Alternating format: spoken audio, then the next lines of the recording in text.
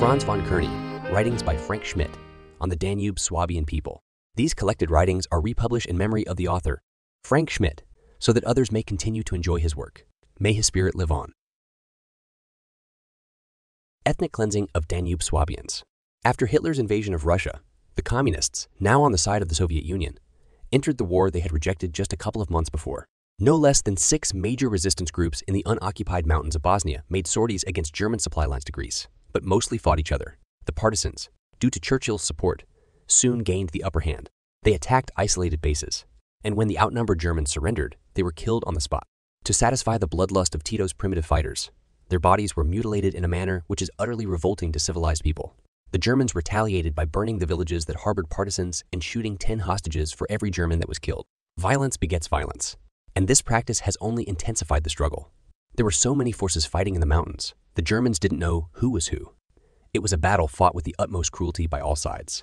The struggle took place far from Danube Swabian settlements, and they were not involved in the conflict.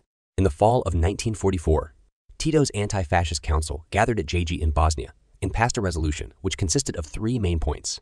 When the Yugoslav state was reestablished, those of German nationality, 650,000 people, the largest non-Slavic ethnic group in pre-war Yugoslavia, were to be dispossessed and deprived of all human rights, including the right to life. Their property was to be distributed among Tito's rough, unlettered fighters who were his main support. This was to be achieved through 1. Mass liquidation 2. Mass deportation 3. Extermination through starvation and forced labor in concentration camps.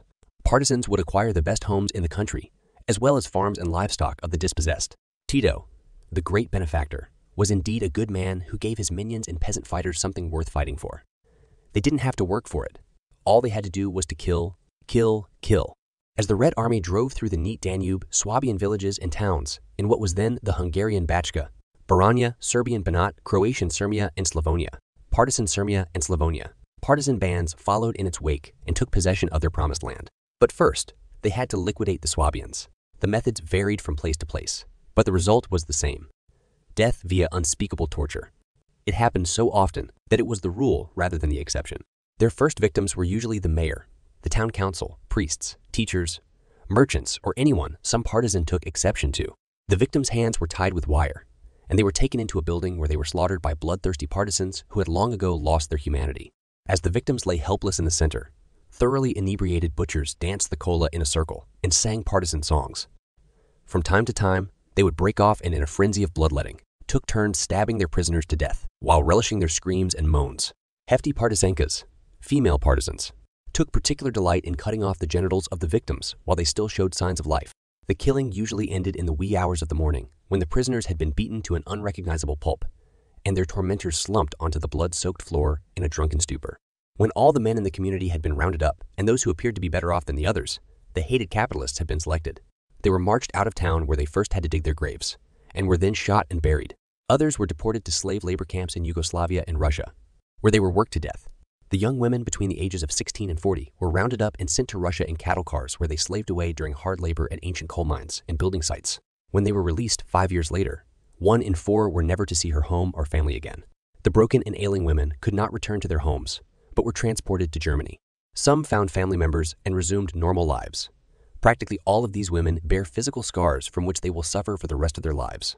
The rest, the handicapped, women with young children, and the aged, were forced out of their homes by, of course, well armed partisans. One can imagine the tears and wailing of utterly defenseless women with small children whose husbands were away, who were probably also caring for parents or grandparents when they were given but a few minutes to leave their home forever.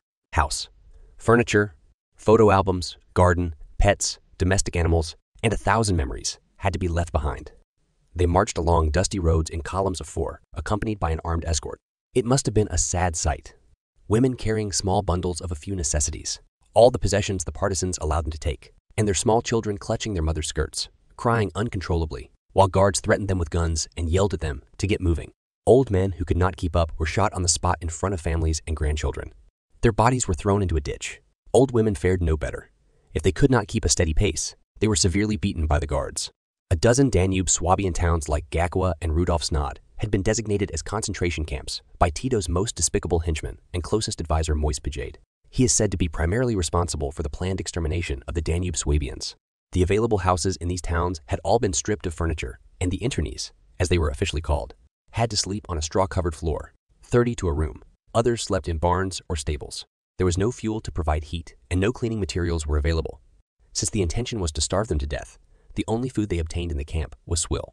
Many were able to sustain their lives by stealing out of camp at night at the risk of their lives and begging for food from the local Serbs or Hungarians, former neighbors who were mostly sympathetic and compassionate people. Had that not been so, no one would have survived in the camps. Because there were so few survivors, the Tito regime closed the camps in the spring of 1948. Those who perished from maltreatment, starvation, and disease are buried in nearby mass graves, where no markers may be put to remind passers-by of the atrocities committed there. The emaciated few who remained alive escaped into nearby Hungary and made their way to the west. As soon as the partisans had taken over a town, they selected young Danube Swabian women, preferably blondes, who were torn from their families and taken to a compound in Pančevo, across the river from Belgrade.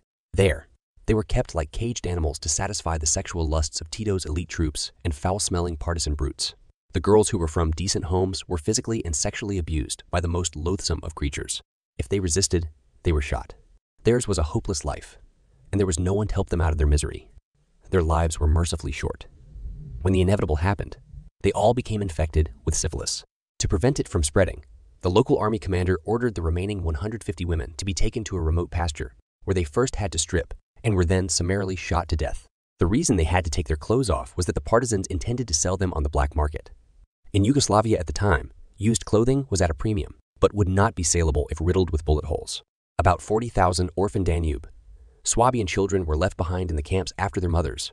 Grandparents and good neighbors had died of starvation or typhoid, and there was no one left to care for them. They were taken to communist children's homes in other parts of Yugoslavia and were given Slavic names. Consequently, they soon lost their language and German identity. As the Turks had done in past centuries with their enemies' children, they were raised as janissaries, fighters for Tito. However, some 5,000 of the older children, ages 8 to 12, who would remember their German ancestry were sent to deportation centers such as Derventa Doboje Usora. Each of the 5,000 was put to death at a local sugar refinery. Ivan Baras, a Croatian prisoner who now lives in Germany, was an eyewitness to the atrocity. He, along with other prisoners, had to take the children from railway cars to the killing site and had a chance to speak to the confused and crying children. He memorized some of their names and places they came from. All were from Danube Swabian communities in Bachka, Banat, Sirmia, Baranja, and Slavonia. After the war, 5,000 orphan children were located, and with the aid of the German Red Cross, they were eventually reunited with relatives in the West. What happened to the other 30,000? No one seems to know. If they survived, two things are certain. They were raised as Janissaries and knew nothing of their German background. From those who were released to the West, we know that they were led to believe that it was the Germans who had killed their parents. It's a cruel world, We're really grateful for your time spent tuning into this captivating episode that dives into the history of the Donauschwaben on the Franz von Kerney YouTube channel. Our content takes inspiration from the insightful writings of Frank Schmidt, unraveling the fascinating story of the Danube Swabians.